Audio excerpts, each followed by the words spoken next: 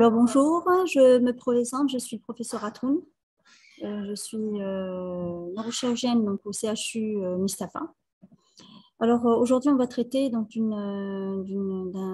pathologie qui est éminemment neurochirurgicale, qui est l'hydrocéphalie.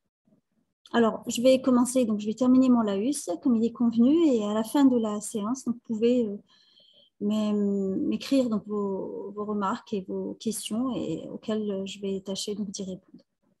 En introduction, donc euh, brève définition de l'hydrocéphalie. En fait, l'hydrocéphalie, c'est un trouble de l'hydrodynamique du liquide céphalo-rachidien. Vous savez très bien que le LCR euh, présente donc une certaine physiologie, donc on verra ici dans le détail.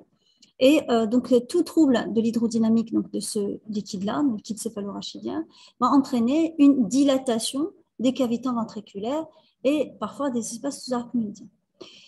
Donc, cette dilatation donc, euh, active des cavités ventriculaires, elle se voit en fait à tout âge. Elles sont de, pathologie, donc c'est une pathologie d'étiologie qui, qui, est variée et euh, dominée surtout par tout ce qui est tumeur, infection. Et il y a aussi donc les malformations. Euh, c'est une pathologie qu'on voit à tout âge, donc euh, depuis, euh, depuis le nouveau-né jusqu'à l'âge, jusqu'à la gériatrie, donc depuis la, la, néonatologie jusqu'à la gériatrie, donc on peut trouver donc ce genre de pathologie. Le diagnostic est clinique et pas que. Il repose aussi sur un bilan paraclinique qui doit être précis, donc on verra ça aussi dans le détail. Et le traitement, comme je vous l'ai dit, c'est une pathologie qui est éminemment neurochirurgicale et de ce fait, sa prise en charge donc, euh, reste exclusivement chirurgicale. Donc, pour rappel anatomique, vous voyez ici donc, les cavités ventriculaires. Vous voyez donc euh, les deux ventricules latéraux qui, sont en nombre de deux de chaque côté, avec la corne frontale, le corps ventriculaire, le carrefour ventriculaire, la corne occipitale et la corne temporale. Donc, ceci pour le ventricule latéral. Donc, ces deux ventricules latéraux donc, vont communiquer avec une seule cavité qui est médiane, qui est le troisième ventricule, via donc un, foramen, c'est ce qu'on appelle le foramen de Monro. Ensuite, du troisième ventricule, donc, euh, il va y avoir passage du liquide céphalorachidien, donc du troisième ventricule, vers le quatrième ventricule, via donc un, petit canal qu'on appelle l'aqueduc de Sylvius. Et à partir du quatrième ventricule, vous avez donc les trous de Magendie, de, de Louchka. Et ici, on a le canal épendymaire et euh, donc, ces euh, donc, vous permettent l'issue du SR, donc, donc, la sortie du SR du, système ventriculaire, pour aller ensuite vers les espaces sous-arachnoïdiens. Vous voyez qu'ici, on va tous les espaces euh, sous-arachnoïdiens. Donc, il y a du SR qui chemine ici en péricérébral. Et voilà, donc que ce soit donc, les, les espaces donc, qui sont péricérébraux et aussi périmédulaires. Alors, la sécrétion de LCR, comme je l'ai dit, c'est un processus euh, euh, qui commence d'abord par la sécrétion. La sécrétion, elle se fait au niveau des plexus choroïdes. Donc, les plexus choroïdes euh, permettent ainsi donc, la sécrétion de LCR. et aussi, donc, il y a le revêtement épandiment aussi qui, accessoirement, donc, à degré beaucoup moindre, beaucoup plus, moins important, donc, va permettre donc, de, sécréter donc, le liquide céphalorachidien. Ensuite, ce liquide céphalorachidien, donc, qui est produit, euh, à partir donc, du plasma euh, par un mécanisme donc, euh, actif. Donc, le débit, il diffère selon les, différents âges, donc 20 ml par heure, 15 ml par heure, 6 ml par heure. Il faut savoir que le SR est renouvelé toutes les 7 heures, soit 3-4 fois par jour. Donc, c'est dire l'importance d'une prise en charge d'une hydrocéphalie parce que ça ne sert à rien d'aller ponctionner le liquide céphalorachidien parce qu'il est vite renouvelé et que, le, comment dire, que le problème, lorsqu'il y, a une hydrocéphalie, le problème subsistera. Et dans les quelques heures qui suivent donc, la ponction. Ensuite, après la sécrétion, vous voyez ici, donc, on a la circulation du liquide céphalorachidien, comme je vous l'ai montré tout à l'heure. Donc, il obéit donc, à une, un, certain, comment dire, un certain passage. Vous avez euh, les ventricules latéraux, le troisième ventricule, l'aqueduc de Sylvius, le quatrième ventricule, le trou de Magendie, les trous de la Louchka, les, les citernes de la base. Vous avez ensuite tous les espaces arachnoïdiens, voyez, donc péricérébraux et puis périmédulaires. Ensuite, une fois qu'il est passé dans l'espace arachnoïdien, donc en fait, il y a des vélocités. Vous voyez qu'ici, on a l'espace. Donc, les espaces arachnoïdiens, c'est ça. Donc, c'est les espaces péricérébraux. Vous voyez, ici, on a le cerveau. On a ici l'espace où chemine le liquide céphalorachidien. Au fait, on a ces petites, ces petites formations, c'est ce qu'on appelle les vélocités arachnoïdiennes, qui vont permettre ainsi de faire euh, résorber donc, euh, le liquide céphalorachidien vers donc, le sang du sinus sagittal supérieur. Donc, le sinus sagittal étant un collecteur de sang veineux. Donc là, on a le sinus sagittal supérieur. Donc, c'est là où se fait au fait la résorption du liquide céphalorachidien. Et elle se fait selon un gradient de pression entre la pression du liquide céphalorachidien, qui est là, et la pression au niveau des sinus duraux. Comme je vous l'ai dit, il y a du sang veineux qui, qui circule. du sang veineux qui circule. Donc, euh, et du coup, donc, il, y a, un passage selon un gradient de pression. Alors, physiopathologie. En fait, il y a trois gros problèmes. Donc, en fonction de ce que je viens de dire, il y a, trois, gros problèmes qui peuvent entraîner justement euh, une hydrocéphale. Ça peut être donc une hyperproduction de liquide céphalorigine. C'est certes donc, euh, euh, possible, mais ça reste quand même assez rare comme cause et elle se voit dans certaines pathologies, euh, notamment tumorales. C'est ce qu'on appelle les papillomes des plexus choroïdes. Ce sont les tumeurs du plexus choroïde. C'est que ce soit le papillome, qui est une tumeur bénigne, ou le carcinome papillaire, qui est une tumeur maligne. Donc, euh, de ce fait, donc, il, va y avoir une hyperproduction du liquide céphalorachidien, donc par les plexus choroïdes, qui sont déjà le siège d'une tumeur. Alors, la, cause la plus fréquente, c'est plutôt la deuxième, c'est l'obstacle à la circulation de LCR. Vous comprenez bien que tout obstacle dans, l'acheminement du, du, LCR va entraîner donc une hydrocéphalie en amont, donc un blocage en amont. Alors, si vous avez, exemple, un blocage au niveau d'un trou de Moreau, donc vous aurez une dilatation univentriculaire. Si le blocage donc, se fait au niveau du troisième ventricule, bien des deux trous de Moreau, vous avez, euh, donc ça existe dans certaines pathologies, notamment dans les, dans les, dans les tumeurs de la paroi antérieure du, du, troisième ventricule, donc ça va boucher les deux trous de Moreau, et du fait donc, que les deux trous de Moreau soient bouchés, on aura une dilatation qui soit biventriculaire. Maintenant, si le, l'obstacle est un peu plus bas, ça veut dire soit au niveau de la face postérieure du, troisième ventricule ou au niveau de l'aqueduc de, de Sylvius. Dans ce cas-là, vous avez les deux ventricules latéraux et le troisième ventricule qui seront l'objet d'une dilatation. Et dans ce cas-là, on aura une hydrocéphalie triventriculaire. Maintenant, si l'obstacle est beaucoup plus euh, bas, ça veut dire à ce niveau-là, donc au niveau, euh, comment dire, euh, en deçà donc plutôt euh, euh, au-delà du, quatrième ventricule, là, on aura une, une, hydrocéphalie qui est tétraventriculaire, ça veut dire que c'est les quatre ventricules qui sont concernés par la dilatation, notamment les deux ventricules latéraux, la, le troisième ventricule et le euh, quatrième ventricule. Alors, le troisième mécanisme qui pourrait être à l'origine d'une dilatation ventriculaire, c'est la modification de la résorption du LCR. Donc, je vous l'ai montré tout à l'heure que la résorption se fait euh, au niveau des granulations de Bacchioni, hum, donc avec le sinus longital supérieur. Donc, il peut y avoir soit une immaturité des granulations, donc euh, il y a certaines pathologies, y a certaines, dans certaines situations, euh, surtout notamment chez le nourrisson, donc il y a une immaturité de ces granulations, ce qui fait qu'il y a donc une augmentation de la pression euh, au niveau donc de la du, comment dire au niveau donc des espaces médias. Donc on n'aura pas une hydrocéphalie euh, proprement dite, une hydrocéphalie donc au niveau hum, ventriculaire, mais plutôt au niveau des espaces médias. Ça veut dire que c'est une hydrocéphalie plutôt externe. Ça veut dire qu'il y a une accumulation de LCA à ce niveau, vu que les granulations de donc n'ont pas euh, pouvoir, ne vont pas pouvoir donc justement faire le rôle donc de, de, de la résorption de LCR. Donc, le deuxième mécanisme aussi, quand il y a une hyperpression veineuse, s'il y a, exemple, une, augmentation de la pression due à une thrombophlébite ou un blocage donc, au niveau donc, du sinus du rho, donc ici, donc s'il y a un blocage au niveau des sinus du rho, ce blocage-là va entraîner donc, une inversion du gradient de pression. Dans ce cas-là, la résorption de LCR va se faire de, de valeurs difficiles voire même, donc il va y avoir donc un blocage dans ce cas-là, et puis une augmentation de, comment dire, une accumulation de LCR et de ce, de ce fait une hydrocéphalie. Alors, comme je vous l'ai dit euh, au début, donc euh, en introduction, l'hydrocéphalie est une pathologie à tout âge. Ça veut dire qu'elle commence depuis euh, l'enfant, donc depuis le nouveau-né, jusqu'à jusqu'à l'âge vraiment jusqu'au jusqu'au sujet âgé.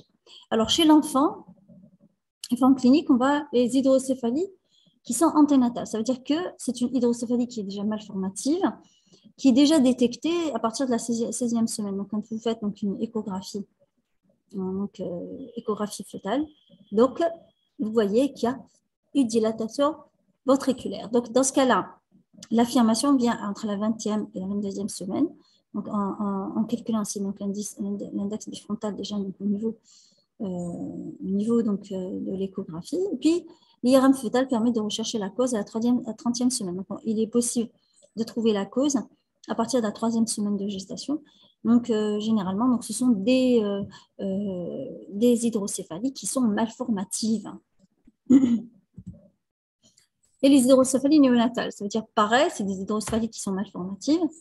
Et, et, parfois, dans certaines situations, elles sont dues donc, à une hémorragie du nouveau-né. Donc, l'hémorragie du nouveau-né, donc toute hémorragie, il va y avoir donc des suffusions euh, de sang euh, qui, vont, qui vont être dans les, vont passer au niveau des espaces suraclinidiens au niveau intraventriculaire, qui vont euh, bloquer les voies d'écoulement du liquide céphalorachidien et de ce fait donc entraîner une hydrocéphalie. Et l'IRM cérébral permet ainsi donc de, voir donc de confirmer l'hydrocéphalie et en fonction de l'évolution de cette hydrocéphalie, là on pourrait dire est-ce qu'il y a indication chirurgicale ou pas, en fonction donc de l'état clinique bien sûr du mouvement.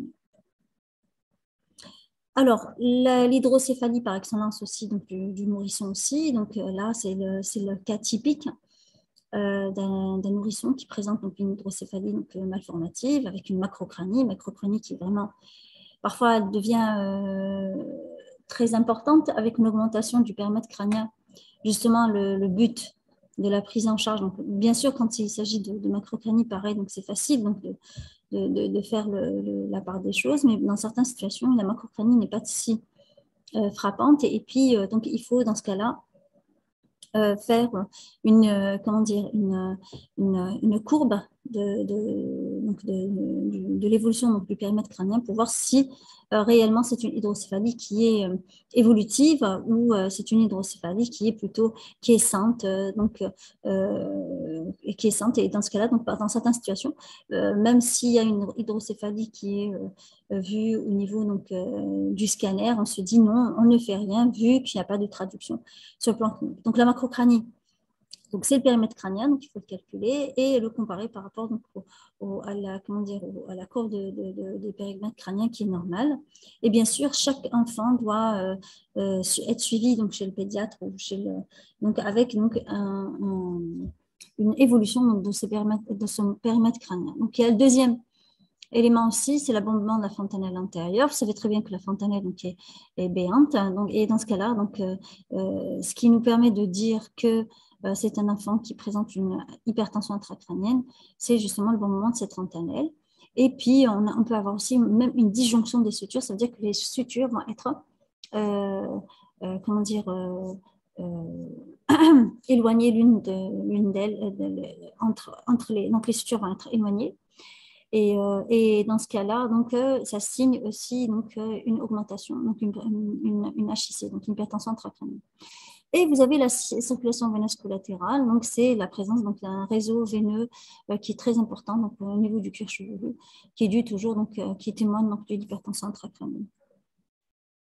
Il y a un fait caractéristique aussi lorsqu'il y a une évolution importante de, l'hydrocéphalie, de la macrocranie et de l'hypertension intracrânienne, c'est l'abaissement des globes oculaires avec, avec rétraction.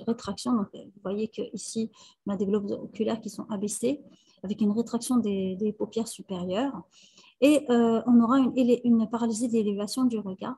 Ceci donc, euh, euh, est, résumé sous le terme de regard en coucher de soleil. Donc, ça signe vraiment l'hypertension intracrânienne. Donc, un stade évolué aussi par rapport donc, aussi au fond d'œil, on va retrouver donc un œdème papillaire. C'est un œdème papillaire qui peut s'aggraver, passer donc du stade 1 jusqu'au stade 4, ça veut dire jusqu'à l'atrophie optique. Et bien sûr, il peut y avoir donc des troubles des acquisitions psychométriques, donc lorsqu'il y a une évolution donc, euh, évolution, donc il y a un trouble de l'acquisition et euh, qui signe justement donc, une souffrance euh, cérébrale. Alors, chez l'hydrocéphalie de l'enfant plus, plus âgé, donc un enfant plus âgé, ça veut dire qu'il n'a pas de fontanelle, donc c'est à peu près le même tableau que pour l'adulte. Euh, il peut, quand, c'est une hydrocéphalie qui est plutôt euh, qui n'est pas aiguë, donc elle peut se traduire surtout par des céphalées, des difficultés euh, scolaires, des, troubles de l'attention et parfois nécessitant une orientation prise en charge sur plan psychologique. Maintenant, pour ce qui est des étiologies chez l'enfant, on peut retrouver donc une sténose de l'aqueduc de Sylvius.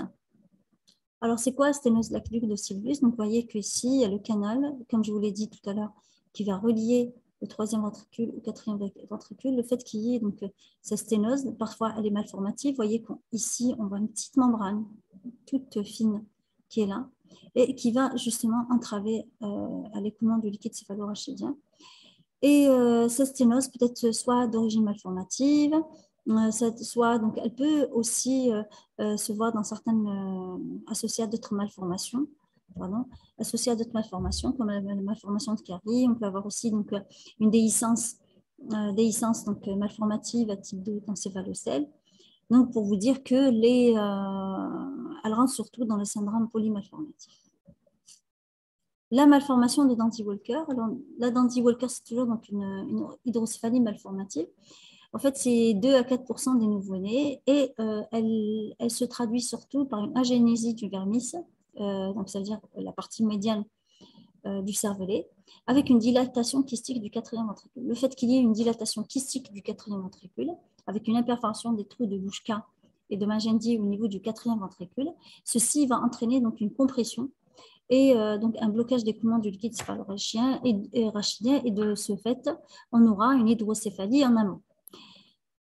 Donc, euh, ces malformations, comme je vous l'ai dit tout à l'heure, c'est des malformations qui peuvent s'intriquer. On peut avoir donc un syndrome malformatif formé bon, par un bon nombre de, toutes ces malformations. Exemple aussi pour la malformation de Chiari. La malformation de Chiari, c'est une ptose. Vous voyez qu'ici, on a les amygdales cérébelleuses qui vont euh, faire hernie au niveau du trou occipital. On, le voit très bien ici. Le fait qu'elle fasse hernie, elle va bloquer les voies d'écoulement du liquide céphalorachidien en amont et de ce fait, donc, il va y avoir donc, une hydrocéphalie.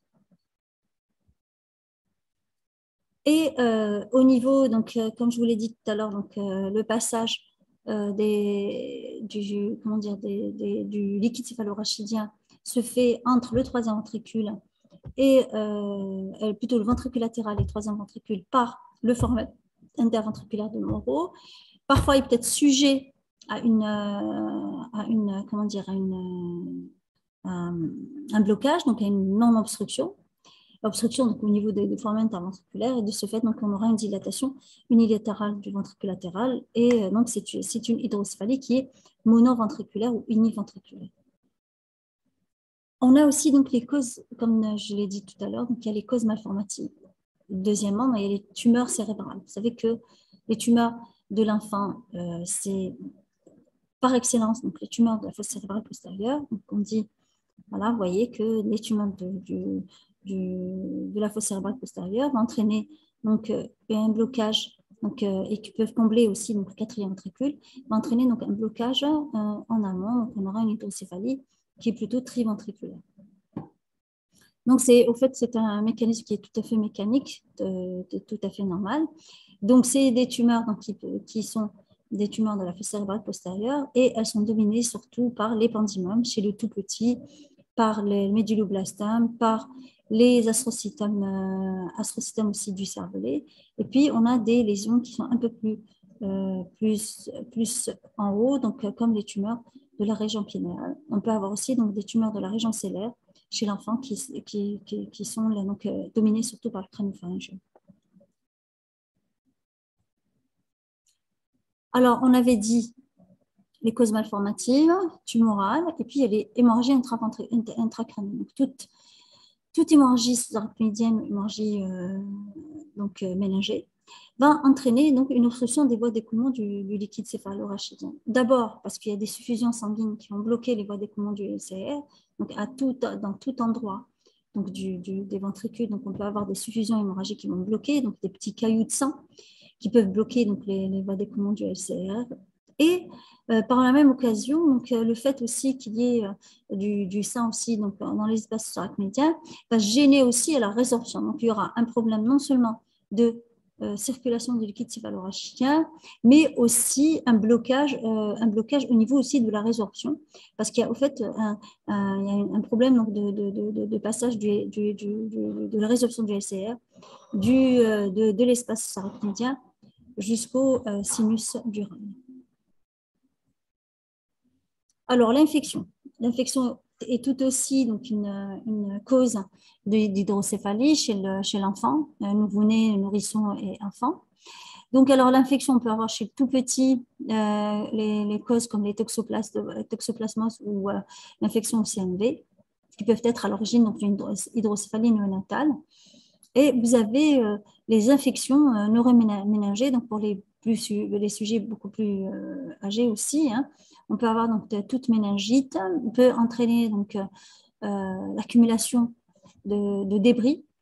Cette accumulation de débris va par la même occasion donc, entraîner un blocage euh, de, de d'écoulement du LCR et un défaut aussi donc, au niveau de la résorption du LCR. De ce fait, on aura donc, une, hydrocéphalie en amont. Donc, c'est pour vous dire que euh, l'hydrocéphalie est une pathologie, oui, certes, mais qui peut être secondaire à énormément d'autres pathologies, donc euh, pathologies vraiment diverses. Alors, on passe à l'hydrocéphalie de l'adulte. Alors, pour ce qui est de l'hydrocéphalie de l'adulte, on sait très bien qu'elle va se traduire par une hypertension intracrânienne qui est aiguë. Et euh, il y a une autre aussi hydrocéphalie, donc je, vais euh, à la fin, donc je vais en parler aussi.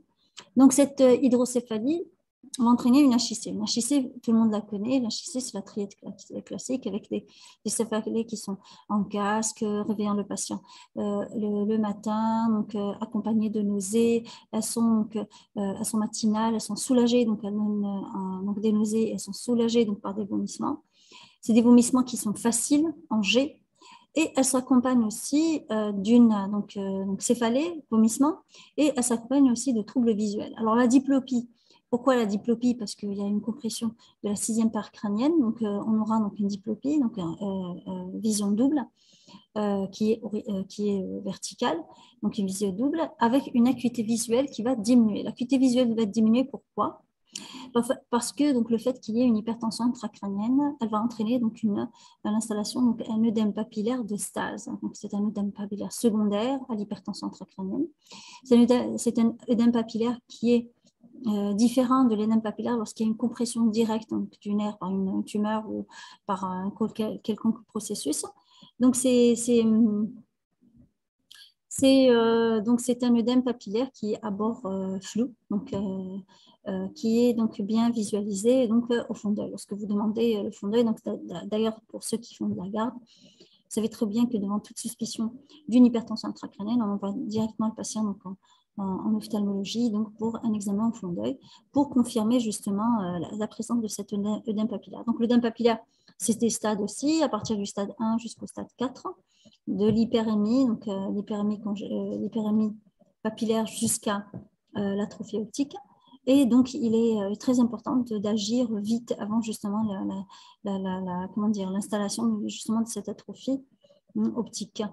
Et euh, on a des troubles oculomoteurs, toujours dans le même cadre de, cadre de la diplopie, c'est toujours une atteinte des nerfs oculomoteurs et euh, le 6 surtout. Le 6 parce que donc on aura donc un strabisme convergent, surtout chez l'enfant. Chez chez donc, euh, en plus de la diplopie, donc il aura donc un strabisme convergent qui signe l'hypertension intracrânienne.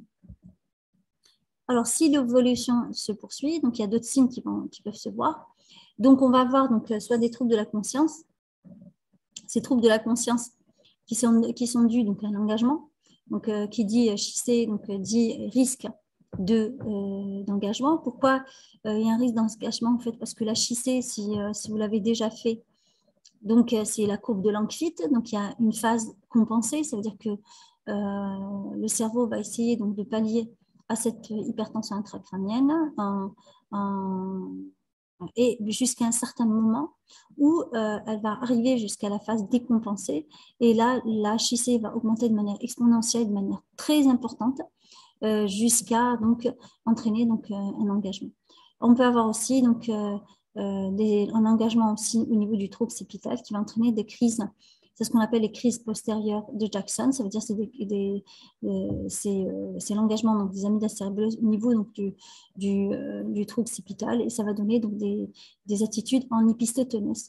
Et enfin, euh, donc, on peut avoir même des troubles végétatifs, donc des troubles végétatifs liés donc, toujours à la compression des centres végétatifs qui, peuvent, qui peuvent aller entraîner donc, un, un arrêt cardio-respiratoire. Donc, c'est dire L'importance de, connaître cette pathologie, parce que c'est une pathologie qui est quand même mortelle. Il faut connaître non seulement cette pathologie et toutes les hum, conséquences qui en découlent. De un, connaître cette pathologie et toutes les causes qui, euh, qui, qui en sont responsables, parce que l'hydrocéphalie parfois cache euh, énormément d'autres pathologies euh, qui sont vraiment diverses. Alors justement, pour parler des étiologies chez l'adulte, on a toujours donc sténose de l'aqueduc de Sylvius, donc pareil que pour l'enfant. Mais dans la sténose de l'aqueduc de Sylvius, euh, lorsqu'on passe à l'âge adulte, il y a d'autres signes qui peuvent se voir aussi. Euh, on peut avoir donc, une rhinorrhée associée par, par, par érosion de la base du crâne, ce qui fait que donc y a une rhinorrhée qui peut, qui peut s'installer. Et c'est une dire, c'est une hydrocéphalie qui est comme ça avec une HIC euh, qui plutôt qui est sainte, jusqu'au moment où euh, la phase décompensée arrive.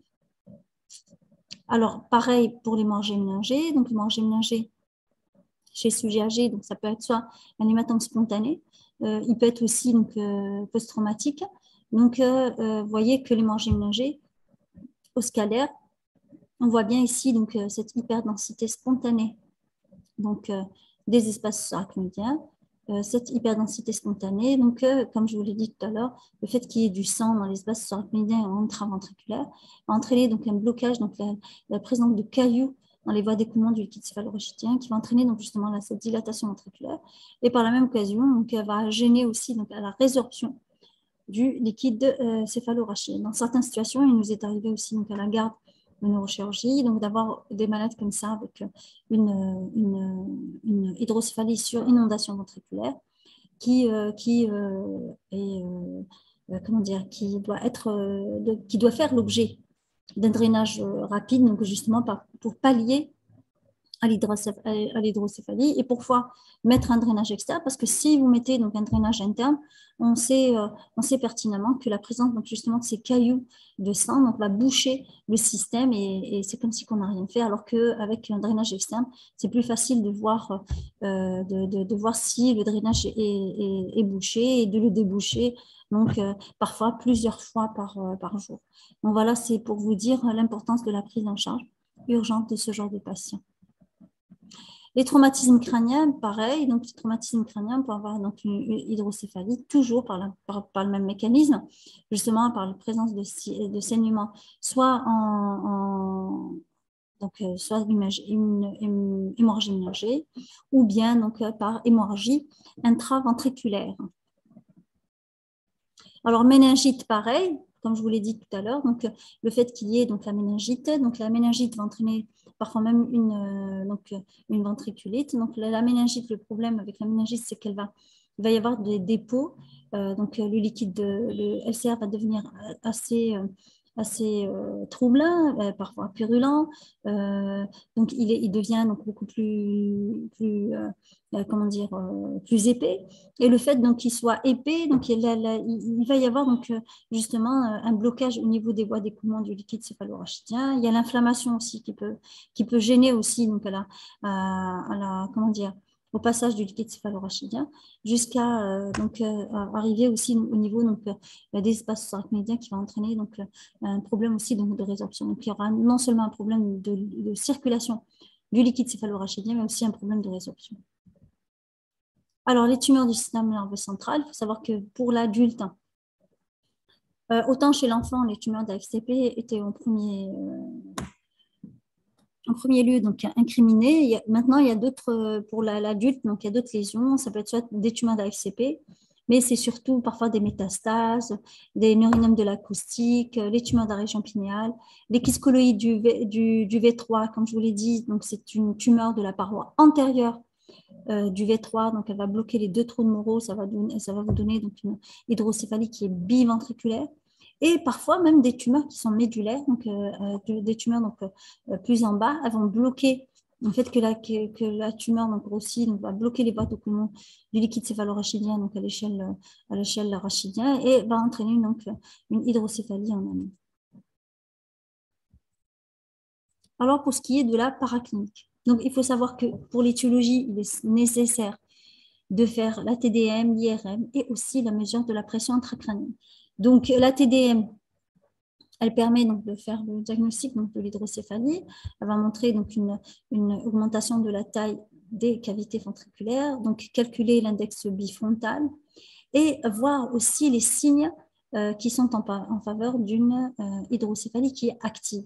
Quels sont ces signes-là? C'est la résorption transépendimère. C'est quoi la résorption transépendimère C'est que le LCR va passer de la cavité ventriculaire euh, au niveau de la substance blanche via donc, le tissu épendymaire, via donc, l'épendyme. C'est ce qu'on appelle la résorption transépendymaire.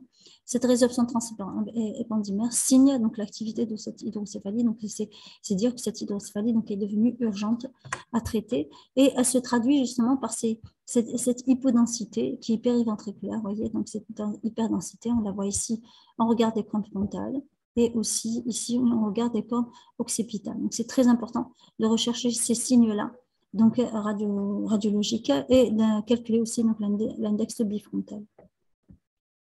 Pareil, donc euh, l'IRM, l'IRM non seulement va vous euh, montrer justement cette, cette résorption transépendimère qu'on voit ici, donc là on est, on est en T2 Vous voyez que ici on voit que il y a du SCR donc, euh, qui est passé en, euh, à travers donc, les pendines. Et elle va nous montrer surtout la cause. Ici, exemple, tumeur de la région pinéale, vous voyez, ici, tumeur de la région pinéale. Elle va bloquer les voies de commande du, du, en amont et on a une hydrocéphalie qui est très ventriculaire, c'est-à-dire elle concerne les deux ventricules latéraux et le troisième ventricule.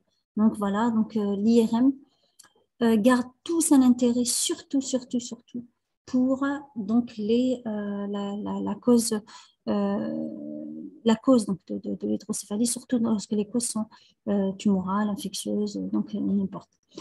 Euh, alors l'IRM aussi, il y a une deuxième séquence d'IRM qui, est très importante, c'est ce qu'on appelle l'IRM de flux. Alors que ça veut dire une IRM de flux? Une IRM de flux permet au fait de suivre euh, flux, qui dit flux, ça veut dire euh, suivi donc, du liquide, suivi de, du, du, de l'acheminement du liquide dans les cavités ventriculaires et dans l'espace surmédian. Alors, l'IRM de flux, elle est, elle est très très importante. Pourquoi? Parce qu'elle va vous dire exactement où est-ce qu'il est, où est-ce que euh, existe donc le blocage. Alors, l'IRM de flux est très importante pour nous, surtout pour par exemple dans, le cas de, sténose, sténose d'aqueduc et elle va vous montrer aussi, euh, en cas d'hydrocéphalie post-méningétique, où réside au fait donc, la, le blocage dans les, donc les, dans les hydrocéphalies euh, post-méningétiques. Donc l'IRM de flux donc, son intérêt surtout aussi pour euh, dans, les, dans les cas d'hydrocéphalie de, chez certaines personnes qui, qui, sont là, qui sont radiologiquement euh, présentes, mais avec, euh, qui sont aussi symptomatiques. Donc, on n'arrive pas vraiment à prendre la décision. Faut-il, oui ou non, donc prendre en charge le patient euh, chirurgicalement. Donc, l'IRM de flux reste un, élément important pour, la prise de décision. Alors, l'échographie transfontanellaire. Alors, chez le tout petit, donc, on peut lui faire donc, une échographie. Ça permet donc de de confirmer donc, la présence euh, donc, d'une dilatation ventriculaire. Ceci dit, donc l'échographie donc, reste toujours une, une, comment dire, un élément d'approche diagnostique, mais euh, le, comment dire, la, le diagnostic de certitude est euh, notamment donnée par le scanner et l'IRM cérébral. Alors, on va maintenant, on va aborder donc le traitement. Alors, le traitement, il faut savoir qu'il y a deux types de traitements. Le traitement curatif, ça veut dire qu'il va jusqu'à l'étiologie. Le traitement palliatif, ça veut dire qu'on peut euh, pallier juste donc, euh, à l'hydrocéphalie. Et puis, euh, le traitement médical qui est peu, efficace, donc il n'a pas donné vraiment de réels résultats. Donc, on reste surtout sur le traitement plutôt chirurgical. Alors, le traitement curatif étiologique. Le curatif étiologique, c'est clair que lorsque vous avez une tumeur cérébrale, c'est vrai qu'on on draine donc, euh, le liquide céphalorachidien. Donc, le but du traitement est d'aller enlever justement euh, cette tumeur qui va bloquer les voies d'écoulement du, du, liquide céphalorachidien. Étiologique exemple, ça concerne aussi l'hémorragie méningée. Donc, euh, le fait, donc, traitement donc, de, de, de, réanimation. Et puis, même lorsque l'hémorragie méningée est, dû donc, à un, anévrisme, donc les ruptures d'anévrisme, donc le fait d'aller traiter donc, cet anévrisme, donc ça permet d'éviter donc une, une, récidive hémorragique et d'éviter donc le fait qu'il y ait donc une hydrocéphalie qui va s'installer plus tard. Euh, le traitement étiologique aussi peut concerner aussi donc, euh, les méningites et dans ce cas-là donc un traitement de la cause, ça veut dire qu'il y a le germe, donc avec euh, une, une, un prélèvement donc, du, du, du, liquide qui est purulent et le fait aussi de le de les soumettre à une, étude bactériologique. Donc, elle permet ainsi de euh, faire, euh, donc, euh, d'avoir donc une, une, enquête donc, du germe et une enquête aussi donc de, de, comment dire de l'antibiotique qui serait le plus adapté, le plus sensible donc à, un traitement donc un traitement donc par antibiotique. étiologique aussi donc, euh, pour ce qui est donc, des, comment dire, des, malformatiques, donc les causes malformatiques, si vous avez donc une, une, comment dire, une, euh, une descente des tensiles dans, les, dans, les, dans, le malformation de Chiari, le fait d'aller ouvrir donc, le trou occipital et donner de l'espace donc, à, comment dire, aux amygdales cérébelleuses, ça permet ainsi donc, d'éviter justement cette compression, euh, cet engagement donc, des amygdales cérébelleuses au niveau donc, du trou occipital et ça permet ainsi d'avoir une amélioration donc, du flux du LCR au niveau, à ce niveau-là. Donc euh, voilà, c'est dire que euh, le traitement de l'hydrocéphalie, ce n'est pas juste la valve, mettre une, valve ou, mettre, donc, ou faire une ventriculosténostomie, mais aussi d'aller vers l'origine du problème lorsqu'il existe et lorsque c'est possible. Donc, euh, de, de, de, faire soit une exérèse totale, soit de, comment dire, de décomprimer donc, le trou occipital pour avoir donc, une, une, une, comment dire, un meilleur euh, flux du liquide céphalorachidien à ce niveau. Donc, voilà, c'est dire l'importance donc, de la, du traitement de la cause.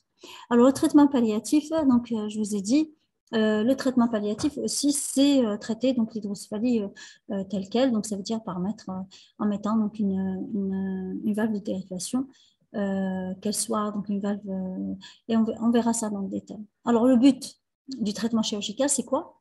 C'est justement rétablir les voies d'écoulement du liquide céphalorachidien. Donc, il y a un blocage quelque part. Le fait donc d'enlever de, donc la cause, donc ça, ça permet donc ainsi donc de rétablir les voies d'écoulement du liquide céphalorachidien. Et toute hydrocéphalie évolutive doit être opérée dès que possible.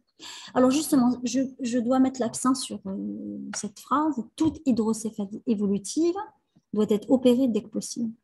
La question est comment savoir que ce type d'hydrocéphalie est évolutive Dans certaines situations, dans, dans, la plupart des, cas, on arrive à prendre la décision euh, rapidement parce que la clinique elle est très, parlante. Euh, le patient présente sur une, hydrocéphalie sur une tumeur ou, une hydrocéphalie post-méningétique ou une hydrocéphalie post-hémorragie méningée. Là, le, le problème ne se pose pas. Mais dans certaines situations, euh, on peut être amené à, avoir un doute, justement, à prendre en charge ou pas, surtout lorsque le patient est, est symptomatique. Ça veut dire qu'il présente quelques céphalées, le fond d'œil est normal, hydrocéphalie qui, qui est euh, là, il y a une dilatation ventriculaire euh, mais qu'on pourrait plutôt, plutôt euh, décrire comme étant une ventriculomégalie, c'est-à-dire une augmentation de la taille des ventricules, mais qui est aussi symptomatique. Ça veut dire que c'est une, euh, c'est une hydrocéphalie qui n'est pas parlante sur le plan clinique. Alors, dans ce genre de situation, euh, dans certaines situations, on est amené à faire euh, ce qu'on appelle une mesure de la pression intracrânienne. Donc, le fait de faire une mesure de la pression intracrânienne et d'avoir donc une courbe, donc des, des, mesures sur les 24 heures, donc c'est un capteur qu'on met en intraventriculaire qui va nous donner donc les différentes valeurs donc de, de la pression intracrânienne tout au long des, des, 24, des 24 heures. Et c'est grâce à ça qu'on arrivera donc à, pallier justement, euh, à, dire est-ce que euh, c'est une hydrocéphalie qui doit être sujette, donc est-ce qu'il y a une indication chirurgicale ou pas. Donc voilà, donc je voulais euh, parler donc, de la mesure de la pression intracrânienne. Donc j'en ai parlé tout, tout à l'heure donc brièvement, mais là, elle trouve tout son intérêt pour l'indication d'un traitement d'une hydrocéphalie lorsque l'hydrocéphalie, donc euh, lorsqu'il y a un doute, euh, un doute donc, euh, de prise en charge. Et là, grâce à, des, à, des, des, valeurs objectives donc, de la pression intracrânienne, la mesure de la pression intracrânienne, on pourra ainsi donc, prendre une décision qui soit claire et, et, et, pour justement pallier donc, à, à l'hypertension intracrânienne du patient. Alors, les méthodes. Alors, traitement palliatif, on a dit dérivation externe du LCR. Je vous ai dit que dans certaines situations, on est amené à faire une dérivation externe. Il y a deux situations, en fait, dans l'hémorragie méningée avec tumeur, avec euh, inondation ventriculaire. Je vous ai dit pourquoi, parce que le fait de mettre une dérivation euh, interne, donc, euh, on sait très bien, on sait pertinemment que le, le comment dire, que le, que le drain donc, va être bouché. Et de ce fait donc, il va être difficile donc à chaque fois donc euh, réouvrir le patient pour justement déboucher ce drain. Donc on préfère donc faire une dérivation externe de LCR avec des mesures d'asepsie qui doivent être très rigoureuses parce que ça reste quand même une porte d'entrée euh, pour les, pour les germes, donc lorsque la, dérivation externe donc, est mal faite est mal euh, entretenu, surtout donc parce que pour les changements de pansement et tout, il faut faire très attention par rapport à ça. Donc, euh, dérivation externe aussi indiquée dans les euh, méningites, à parfois avec ventriculite. Et je vous l'ai dit, bien sûr, on va pas on ne va pas inoculer donc le, germe ailleurs, donc le mettre dans le, un, un ventriculaire ou un intra, un intra cardiaque, donc alors qu'on sait que le, LCR donc, est souillé, donc le LCR est purulent. Donc, vous avez aussi donc, le traitement curatif aussi. Donc, c'est la création d'une dérivation interne, c'est ce qu'on appelle la ventriculo-cysternostomie. Alors, là, on, euh, on, va, verra ça aussi dans le détail. Et vous avez la dérivation du liquide céphalorachidien par des prothèses implantées, que ça va être une dérivation ventriculo-cardiaque, euh, ventriculo-péritonéale, ou la dérivation lombo-péritonéale. Donc, voilà les trois euh, types de euh, complète amenée donc, à, utiliser justement pour euh, euh, pallier donc, au, à la dérivation, à, à l'hydrocéphalie. Alors, pour la dérivation ventriculaire externe, donc vous voyez que ici, c'est un cathé qui est implanté en intraventriculaire et puis il est relié donc à un collecteur. Il faut savoir que c'est un geste chirurgical, quand même, c'est un geste chirurgical généralement qu'on réalise dans le cadre de l'urgence et je vous ai dit quand est-ce, donc surtout en cas de, de, de ou inondation ventriculaire.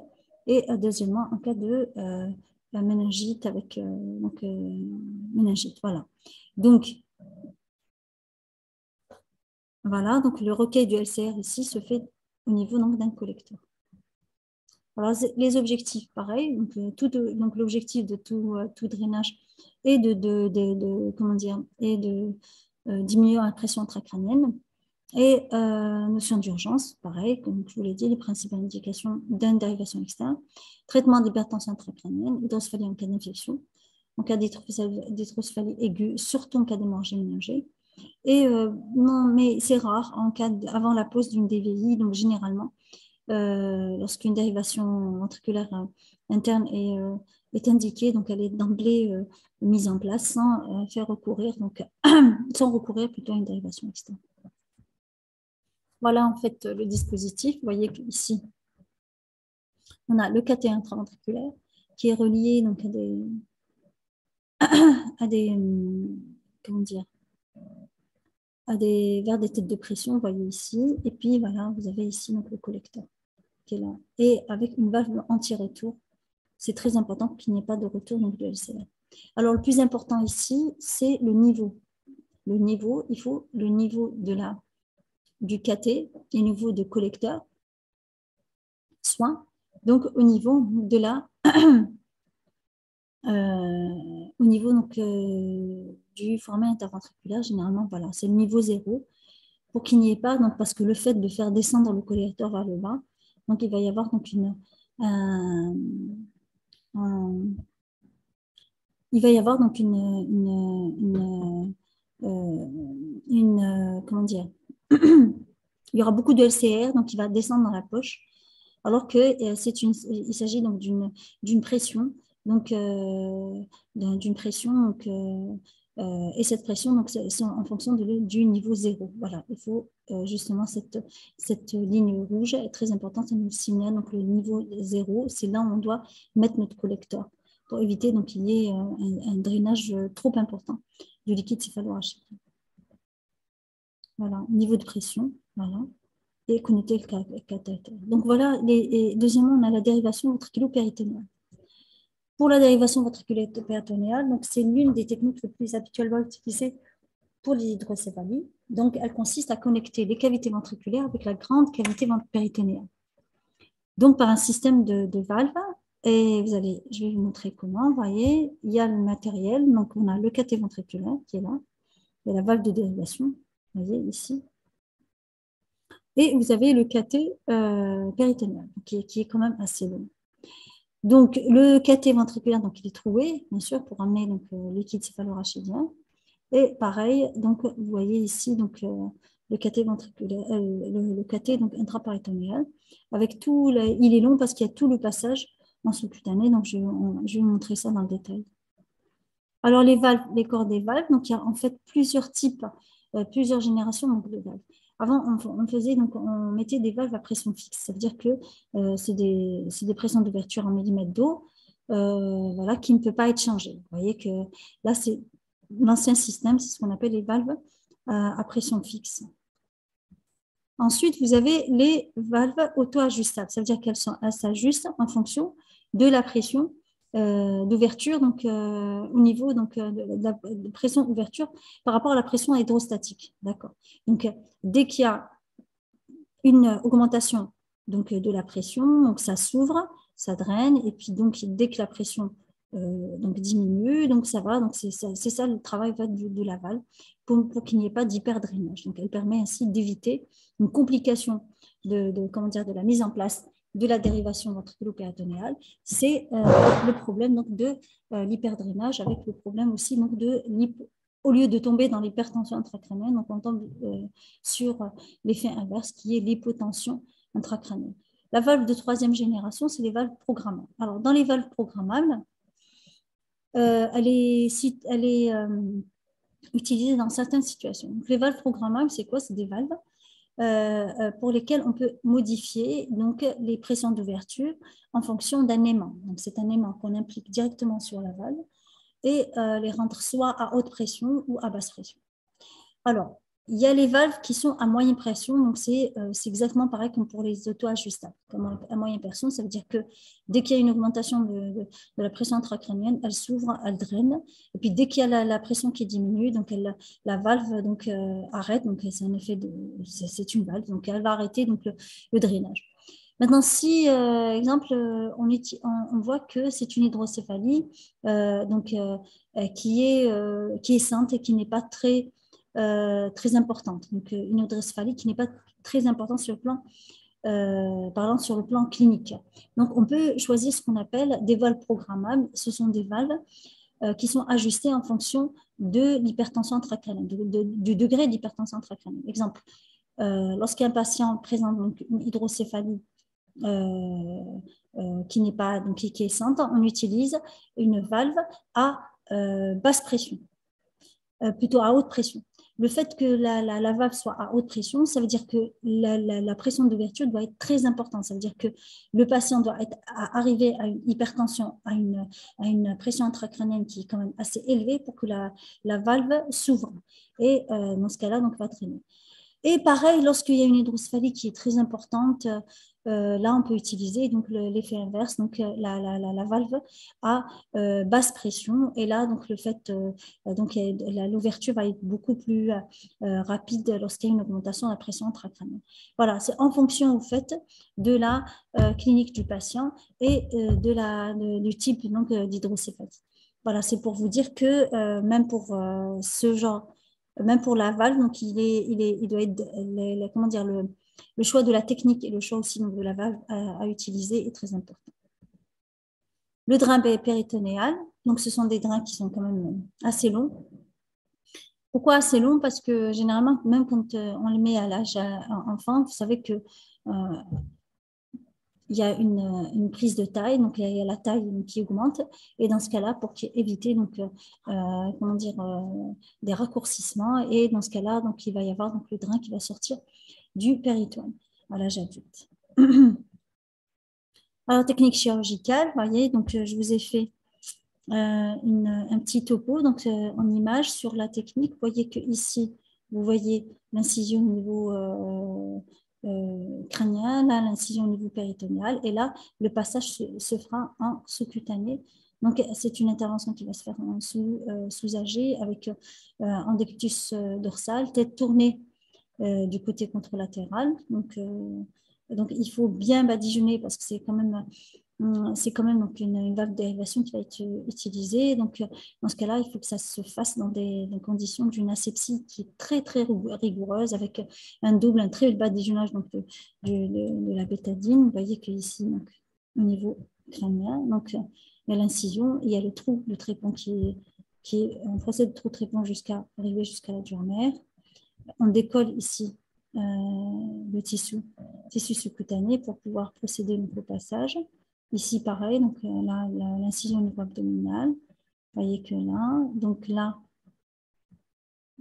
on introduit donc, le caté ventriculaire. On voit bien qu'il y, a du LCR. Parfois, on est amené donc, à, l'analyser, à analyser le LCR. Allez, le caté ventriculaire est placé, voyez. Et là, on fait le passage en sous-cutané du caté euh, péritonéale. Ensuite, là, vous voyez qu'on a raccordé donc, le caté ventriculaire à la valve dont je vous ai parlé tout à l'heure. Et puis, donc, on raccorde aussi au caté péritonéal. Donc, c'est la valve, donc les différents types de valves euh, dont je vous ai parlé tout à l'heure. Là, on vérifie que tout le dispositif marche correctement, qu'il y a du liquide céphalorachidien qui, qui vient par le caté ventriculaire. Et ensuite, on l'introduit en intrapéritonéal. Vous voyez que ici, on a les deux, deux berges du péritoine, donc il y a une introduction donc, du caté en intra-péritonéal. Voilà, et voilà. Donc, pour les, dans certaines situations, surtout chez les enfants, donc ils présentent une, immaturité, donc immaturité, donc dans ce cas-là, il va y avoir un trouble de la résorption du liquide sphérochidien au niveau du péritonéal. C'est-à-dire que lorsque vous mettez le caté en intrapéritonéal, donc il va vous faire donc, une accumulation de liquide et euh, qui ne va pas être résorbé. Et comme il y a une accumulation de liquide, automatiquement, cela va retentir. Donc, euh, il va y avoir une hydrosphalie toujours persistante. Alors, dans cette, situation, on peut être amené à faire une, intervention qui est tout autre, qui est la ventricule cardiaque. La ventricule cardiaque, c'est le même principe. Donc, le caté ventriculaire est placé en ventricule latéral, ensuite passé en sous-cutané. Donc, on a ici donc, la valve de dérivation. Et puis, euh, le caté qui était censé donc, aller en, en intrapéritonéal va être introduit au niveau de la veine jugulaire externe. Donc, la veine jugulaire, cette veine jugulaire qui va nous mener directement vers donc l'oreillette droite. Donc, dès qu'on arrive jusqu'à l'oreillette droite, on a, un petit extrasystole qu'on voit donc à l'ECG, on sait qu'on y est. Et dans ce cas-là, on laisse le caté donc, à ce niveau. Donc, généralement, il est, euh, on calcule quatrième espace intercostal. Donc voilà, donc dès que le caté euh, est là-bas, donc euh, on s'arrête et on, on, abouche donc les deux, euh, les deux, les deux catés donc à la valve de dérivation. donc c'est une, c'est une intervention dont les, dont les indications sont rares, mais parfois dans certaines, situations, on est amené à la faire sans avoir beaucoup de choix. Donc justement cette dérivation ventriculaire cardiaque. Alors, la ventriculo-cysternostomie. Donc, la ventriculo-cysternostomie est par excellence donc la, dérivation interne qui est, qui est à choisir donc, dans certaines situations, parce qu'elle a un grand avantage, donc ne pas laisser de, comment dire, ne pas laisser de matériel. Donc une, elle utilise des voies naturelles et vous allez voir comment. Donc définition, c'est quoi une ventriculocysténostomie Ça veut dire elle fait communiquer le ventricule aux espaces sous-épineux, ça veut dire au cysterne de la base. Donc ventriculo, donc ventricule, cisterno, ça veut dire les cysternes de la base, cysternostomie. Elle permet d'assurer donc le drainage du liquide cérébro, euh, du LCR euh, au cours d'une hydrocéphalie obstructive. Donc, elle, elle, a quand même ses indications. C'est l'hydrocéphalie triventriculaire. Alors, je le, dis, je le redis, c'est l'hydrocéphalie triventriculaire. Ce n'est qu'à ce prix-là. Donc, euh, dans les hydrocéphalies, lorsque l'indication est bien posée, que la ventriculosysténostomie donc, va euh, pouvoir donc, marcher. Donc, on réalise ainsi une stomie au niveau donc, du plancher du troisième ventricule. On verra ça. Donc, alors, les indications, comme je vous l'ai dit, c'est les hydrocephalies obstructives triventriculaires pour les tumeurs de la fosse cérébrale postérieure, les sténoses de Sylvius et les kystes intraventriculaires. Donc, dans les, euh, euh, dans les euh, hydrocephalies obstructives triventriculaires. Alors, technique chirurgicale, vous voyez que ici, comment on place le patient à 45 degrés. Donc, on réalise un trou du trépan ici. Vous voyez que si c'est la médiane, là, c'est la ligne médio-pupillaire. Donc, on réalise donc un trou sur la ligne médio-pupillaire et à 12,5 euh, depuis le nation et à 2,5 depuis la ligne médiane. Donc, c'est la ligne médio-pupillaire. Donc, le trou va être placé ici. Donc, euh, généralement, on le, fait à droite. Donc, il nous faut bien sûr un matériel d'endoscopie. Alors, on procède donc à l'ouverture de la duomère. Donc, on fait rentrer donc une chemise et, euh, qui va être maintenue grâce donc là, à la chemise, qui va être maintenue grâce à un holder. Holder, c'est un, euh, c'est ce qui va maintenir donc la, chemise. Donc, on va introduire donc euh, ce, ce trocard donc vers le, le, comment dire, vers le donc holder, c'est le bras articulé. Hein. Là, c'est holder, bras articulé. Donc, on va introduire donc ce, cette, ce, comment dire, le mandrin, donc avec la chemise donc, l'endoscope avec le mandrin. Donc, on va euh, l'introduire au niveau de la confrontale du ventricule latéral. Donc, une fois qu'il est au niveau de la confrontale du ventricule latéral, on a ensuite, vous voyez qu'ici, on voit le trou de Moreau. Donc, on arrive à identifier donc, le trou de Moreau. Dès qu'on a le, le, trou de Moreau, donc on s'introduit au niveau du trou de Moreau pour justement aller vers la cavité du troisième ventricule. Vous voyez que ici, on est rentré par le trou Moreau, donc voilà l'endoscope. On est rentré là, donc au niveau de la cavité du ventricule latéral, à travers le trou Moreau dont je vous ai montré tout à l'heure. Voilà le trou Moreau qui est là. Donc, on s'introduit dans le trou Moreau. On s'est introduit au niveau du trou Moreau. Et là, on arrive jusqu'au troisième ventricule. Et le but ici, c'est d'arriver là au niveau du plancher du troisième ventricule. Le plancher du troisième ventricule, donc dès que vous l'ouvrez, vous vous trouvez au niveau de la citerne interpédinculaire. Donc, c'est le but, donc, c'est faire communiquer la cavité ventriculaire du troisième ventricule avec la citerne. Donc, en fait, ça permet de chanter donc, le, euh, passage normal des, euh, du LCR. Donc, euh, ça veut dire l'aqueduc de Sylvius. Donc, quand il y a, par exemple, une tumeur qui s'agit ici ou une sténose de l'aqueduc de Sylvius, donc, euh, dès que vous faites ça, donc, en fait, vous chantez tout ceci et il y aura un passage direct du liquide céphalorachidien, du ventricule latéral vers le cytine de la base. Donc, voyez que ici c'est une vue endoscopique, toujours sous endoscope. Vous voyez qu'ici, on a les deux corps mammillaires. On a le plancher du euh, troisième ventricule donc, qui est translucide. Donc, on procède donc à une cautérisation, c'est-à-dire une petite coagulation à ce niveau-là. Ceci nous permet donc justement de faire introduire ensuite une sonde. Vous voyez ici, donc un cathéter avec une sonde de Fogarty. Donc, on, on, l'introduit, on gonfle. Ces types de, ces sondes de Fogarty vont permettre ainsi euh, d'augmenter justement cette stomie. C'est une stomie, c'est ce qu'on appelle une stomie, c'est-à-dire une petite ouverture et euh, le fait d'introduire cette sorte de Fogarty, donc ça permet d'élargir euh, la stomie et permet ainsi de faire communiquer les cavités du troisième ventricule et du Alors, je vous ai parlé tout à l'heure de l'IRM, l'indication aussi de l'IRM de flux. L'IRM de flux, exemple, trouve tout à fait son indication dans, certaines situations de stomie pour voir si justement le stomie fonctionne ou pas. Donc, le fait de faire, de faire l'IRM de flux va me montrer justement le passage de ce, de, du liquide céphalorachidien à travers la stomie. Maintenant, s'il y a un bon passage, on se dit que notre stomie fonctionne, donc l'intervention donc c'est bien donc, euh, est, réussie. Maintenant, si on voit qu'il n'y a pas de passage, quand il n'y a pas de passage, ça veut dire qu'il y a eu une refertunature donc, de cette stomie parfois on est amené à refaire l'intervention chirurgicale justement pour, euh, pour euh, pallier donc, à ce problème, à la refermeture, donc à faire la fermeture de la stomie. Voilà, donc là c'est la, la sonde de Fogarty. Donc on fois qu'on a fini. Donc, on retire juste l'endoscope et la durmère, on va être fermée. Voilà, donc euh, de manière euh, habituelle. Alors, les dérivations. Il y a, y un bon nombre de complications liées à la mise en place donc, de dérivation ventriculo-péritonéale. Vous voyez ici que c'est un bébé chez qui donc, il y a eu issu donc, de toute la valve avec euh, des complications ici infectieuses.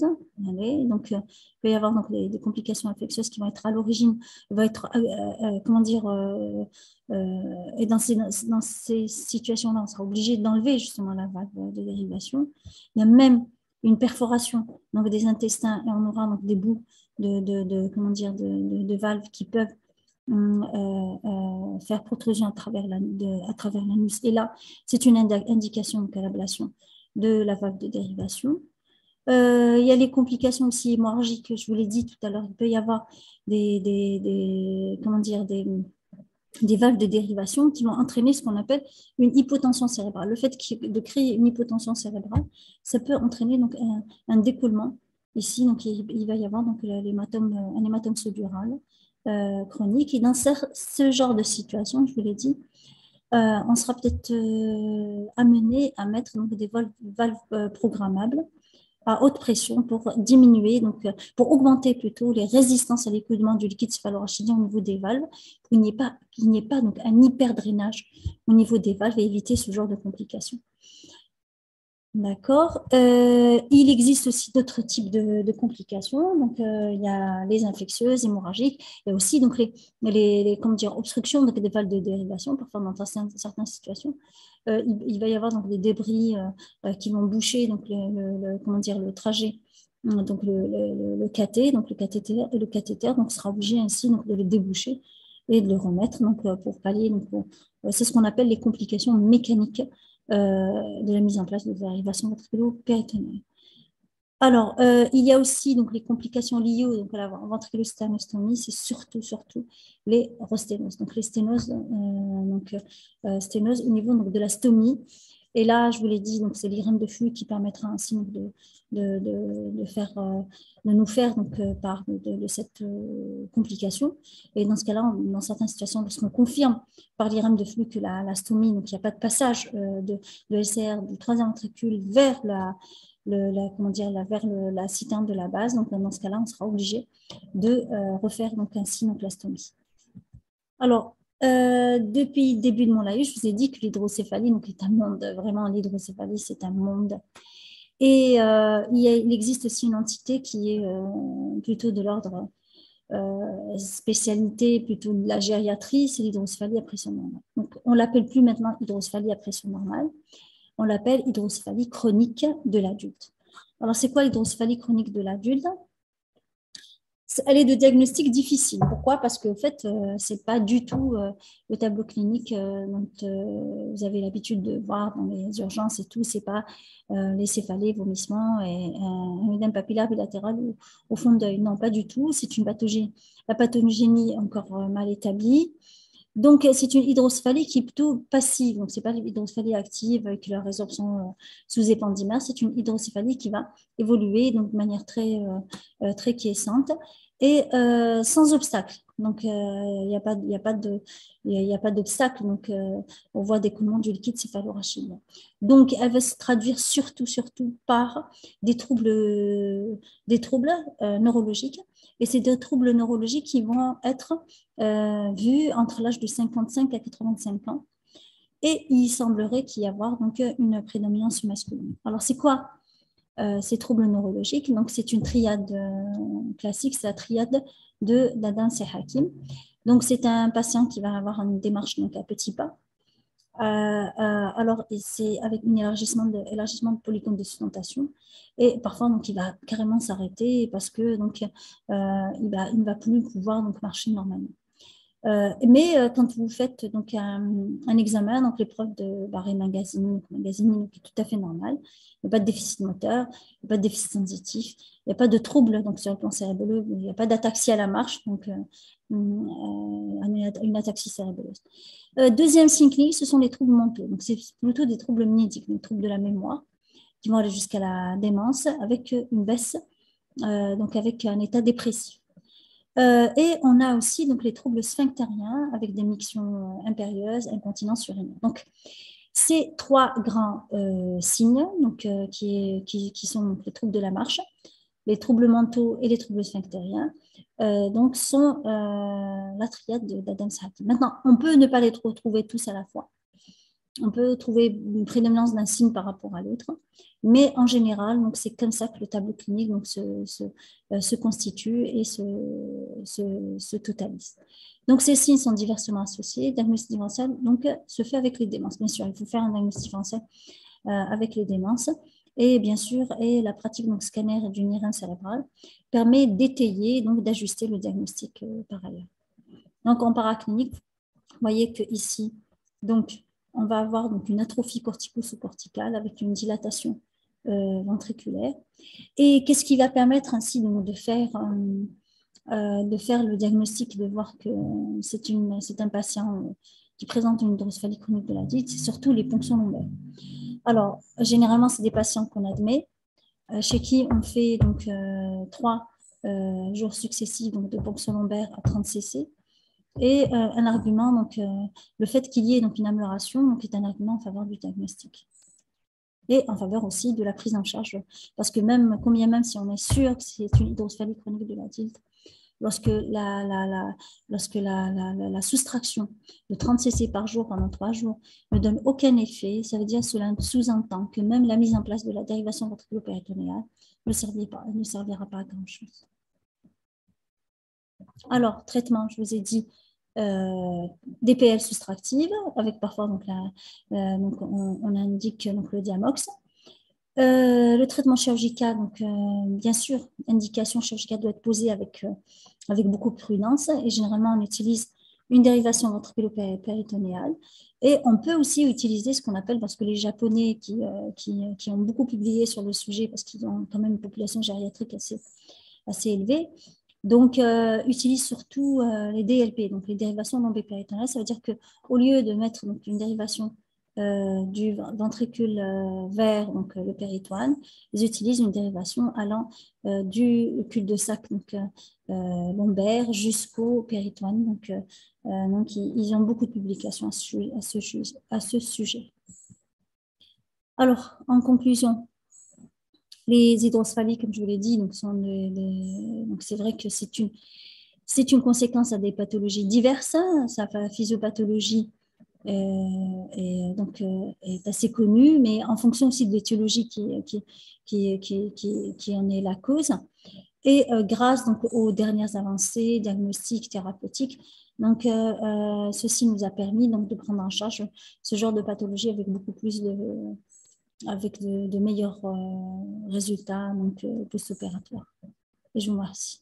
Voilà, je vous, je vous ai laissé en lien mon, mail si vous avez besoin de, de questions, si vous avez besoin aussi de prise en charge en neurochir, donc il euh, n'y a pas de problème. Vous, vous, me soumettez les dossiers par mail, je, me ferai un plaisir de les prendre en charge. Alors, y a-t-il des questions? S'il vous plaît, pouvez-vous m'inscrire les questions et comme ça, je pourrai euh, répondre au fur et à mesure.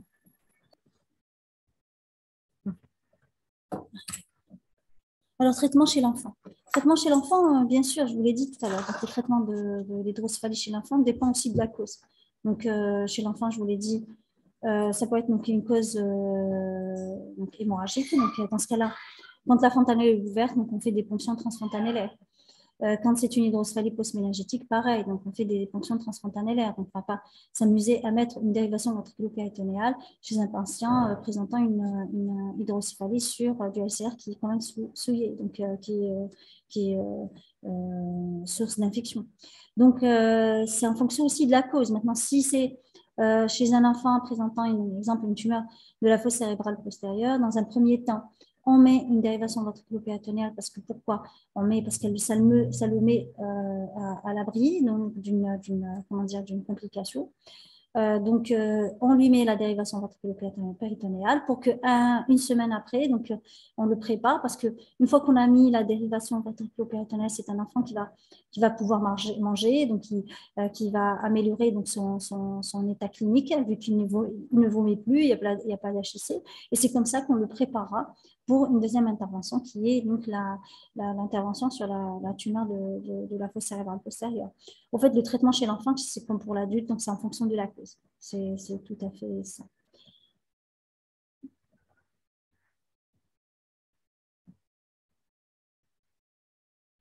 Alors, comment un médecin généraliste va réagir en cas de céphalie intense de l'hydrocéphale opérée et non dans un endroit non spécialisé? Non dans un... Alors, chez un hydrocéphale, donc c'est clair, il faut faire donc une, euh, comment dire, euh, chez un patient euh, présentant une hydrocéphalie. donc le premier, le premier réflexe, c'est d'abord la clinique. Est-ce qu'il présente un syndrome d'hypertension intracrânienne qui est né et qui est, qui est clair, qui est patent? Dans ce cas-là, on l'envoie faire donc un fond d'œil. Donc, si l'œdème papillaire donc, est, confirmé donc, au fond d'œil, là, il faut vite l'envoyer dans un, dans un, service de neurochirurgie. Donc, vous ne pouvez pas faire autrement. Maintenant, si c'est un patient qui est déjà opéré, donc, alors qu'est-ce que vous allez faire? Vous, allez lui faire, donc, pour, pour, pour, faire, pour faire rapide, vous lui faites une, une, un scanner cérébral pour voir si euh, la valve est en place, pour voir si l'hydrocéphalie donc, est bien drainée et lui faire ce qu'on appelle une radio euh, du crâne, radio euh, et un aspect pour voir donc, justement le trajet de la valve. Euh, c'est comme ça qu'on arrive donc, à, à, traiter, donc à prendre en charge l'hydrocéphale. Mais en cas d'hydrocéphalie opérée, donc c'est ce qu'il faut. Donc il faut réadresser le patient directement donc, dans le service où il a été pris en charge la première fois. Alors, quel est le diagnostic de certitude d'une hydrocéphalie chronique? Alors, dans l'hydrocéphalie chronique de l'adulte, je vous ai dit, le diagnostic est difficile, parfois difficile à approcher. Pourquoi? Parce que généralement, chez sujet âgé, va commencer à faire des troubles de la marche. Donc, les troubles de marche de sujet âgé, donc on peut, il peut, on peut l'avoir dans, plusieurs pathologies, euh, que ce soit la démence, que ce soit aussi dans le Parkinson. Vous savez que dans le Parkinson, dans la, dans la, dans la, pharmakinétique, donc on peut avoir donc, des troubles de la marche. Euh, les troubles euh, sphinctériens, donc vous savez que tous les, les sujets âgés peuvent avoir donc, des troubles sphinctériens parce qu'ils peuvent, la, donc HBP, donc hypertrophie de la prostate aidant. Donc, c'est un diagnostic difficile dans le sens où euh, c'est un sujet âgé qui, euh, donc plusieurs, euh, plusieurs donc il peut, il peut, y avoir une errance diagnostique. Mais quand vous voyez que, comment dire, il y a quand même ces signes-là qui s'intriquent, donc on peut être amené à faire un scanner cérébral qui va montrer justement cette dilatation ventriculaire. Cette dilatation ventriculaire peut nous dire, voilà, c'est une hydrocéphalie chronique de l'adulte et c'est pour ça qu'il présente ces, ces signes cliniques. Alors, qu'est-ce qu'on va faire? J'ai hospitalisé même ce matin, moi, dans, mon service, euh, le même cas, donc chez un patient qui a 58 ans, qui, a présenté, euh, qui a commencé à, d'abord présenter des troubles, euh, des troubles psychiatriques. Ensuite, se sont installés des troubles de la marche. Et là, donc, il a été vu par un neurologue qui a demandé une IRM cérébrale qui a montré justement la dilatation ventriculaire. Et je l'ai hospitalisé aujourd'hui. Pourquoi? Parce que pour faire justement la certitude diagnostique. Alors, on va lui faire donc, des fonctions lombaires et euh, les ponctions lombaires. En cas d'amélioration, non seulement ça va nous dire, voilà, c'est plutôt ça qui est à l'origine de, son problème, et, euh, et, si on voit que vraiment, après les trois ponctions lombaires, après les soustractions des, 30-30 cc chaque jour, euh, de décider donc, de mettre en place une, dérivation ventriculo-péritonéale. Alors, quel est alors, quel est le diagnostic différentiel de l'hydrocéphalie en général? Diagnostic différentiel de l'hydrocéphalie de, chronique de l'adulte, hydrocéphalie euh, Alors, Redmi à tout le monde, s'il vous plaît. Alors, il faut me spécifier, est-ce que c'est diagnostic différentiel? Donc, diagnostic hydrocéphalie, euh, donc sur le plan clinique, hydrocéphalie, quand on a au scanner, c'est clair. Donc, une hydrocéphalie maintenant. Bon, est-ce que c'est une hydrocéphalie Est-ce que vous parlez d'hydrocéphalie chronique de l'adulte? Parce que dans certaines situations, vous savez que euh, euh, les, patients âgés peuvent à la longue avoir une atrophie, ce qu'on appelle une atrophie cortico-sous-corticale. Et comme la nature a de vide, le fait qu'il y ait une atrophie cortico-corticale, donc il y, a du, euh, il y a une dilatation ventriculaire qui s'installe, sans que ça donne donc, euh, une hydrocéphalie. Donc c'est plutôt une ventriculomégalie, donc c'est une augmentation de la taille des ventricules, sans qu'il y ait donc une, une euh, comment dire, une, une traduction clinique. Alors, si vous parlez du diagnostic différentiel sur le plan radiologique de l'hydrocéphalie chronique de l'adulte, c'est plutôt l'atrophie euh, cérébrale. L'atrophie cérébrale, donc chez sujet âgé, peut donner un ventriculomégalie, mais qui n'est pas parlante comme dans l'hydrocéphalie chronique de l'adulte. Alors, pour un médecin généraliste, est-ce que la première, euh, euh, quel est le, premier geste à faire? Alors, en tant, que, médecin généraliste, c'est surtout faire la part des choses déjà, faire le diagnostic, parce que je vous ai dit, c'est un diagnostic qui est très aisé. Et puis, euh, l'envoyer d'abord en neurologie, parce qu'il euh, faut que ça soit, il déjà pris en charge en neurologie, pour l'hydrocéphalie chronique de l'adulte, hein, en neurologie. Euh, en neurologie, ils, vont pouvoir faire donc, tout ce qui est test psychométrique, éliminer les tous les diagnostics liés donc, à un problème neurologique. Et généralement, donc, c'est les neurologues qui nous les adressent chez nous, donc, justement pour une prise en charge chirurgicale. Alors, la malformation crânienne chez l'enfant due à une hydrocéphalie, comment elle est prise en charge? Esthétiquement Malformation crânienne chez l'enfant. Alors, est-ce que vous parlez de, la macrocranie?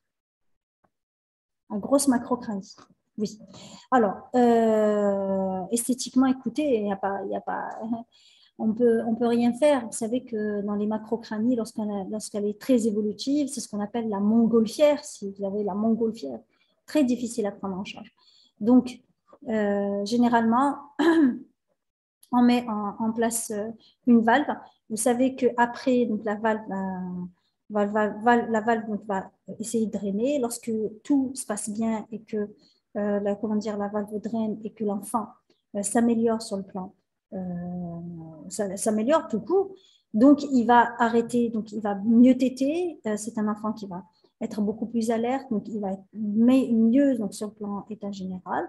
Et du coup, il va euh, prendre de, de, comment dire, du, du, du, poids au niveau, donc, euh, au niveau de, la, comment dire, de, son, de son corps, donc du, reste du corps. Et, et, ça va créer en fait un, équilibre entre les deux. Donc, c'est pour ça que je dis c'est difficile, donc sur le plan esthétique, c'est clair, il va rester, euh, donc euh, la macrocranie va rester, mais si tout va bien et si l'enfant euh, arrive à être bien alimenté, à bien être donc euh, à, éviter la dénutrition et éviter aussi donc la déshydratation.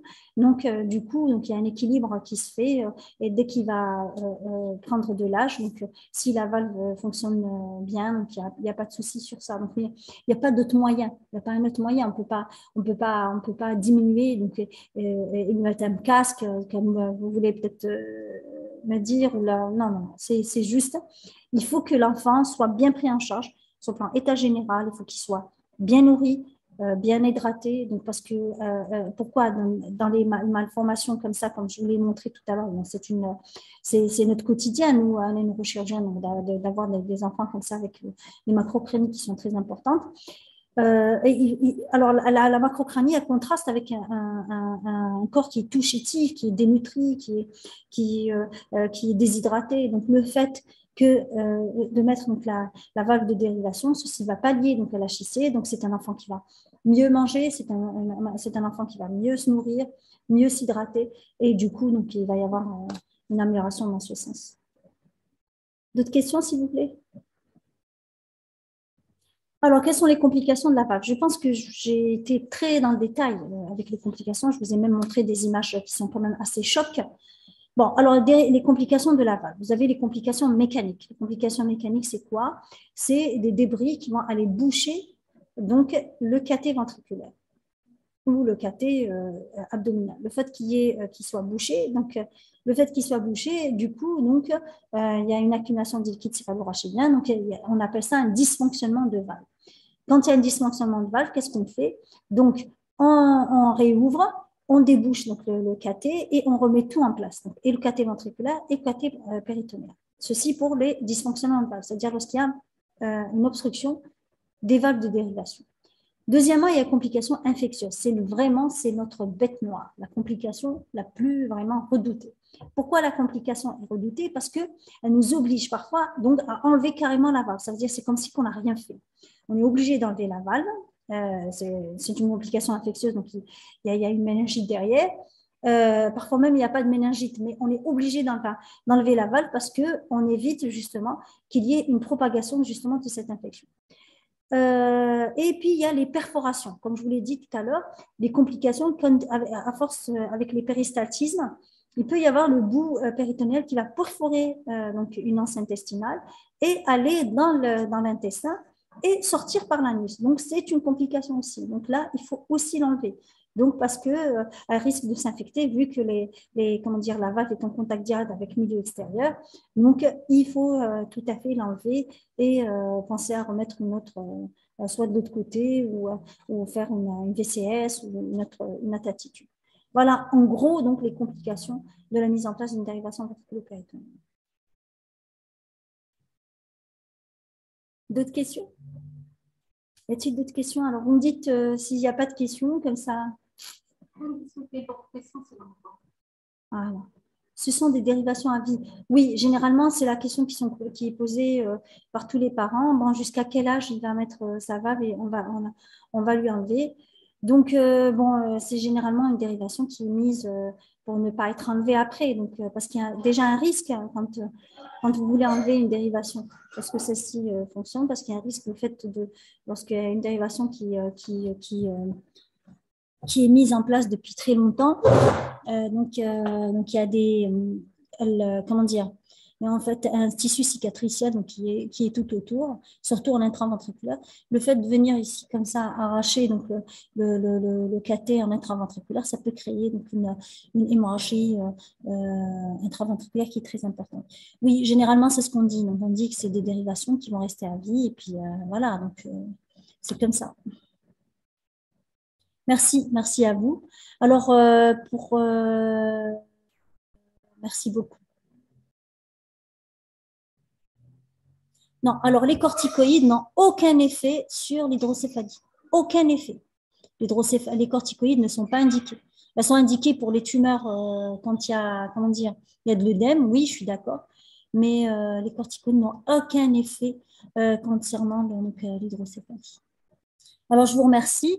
Maintenant, je reste toujours en contact. Donc, euh, euh, je vous ai laissé donc, euh, mon mail donc, concernant, donc, voilà, si vous voulez des questions ou me soumettre des malades de neurochirurgie. Donc, je, reste ouverte à toutes vos, comment dire, à, vos, comment dire, à vos questions.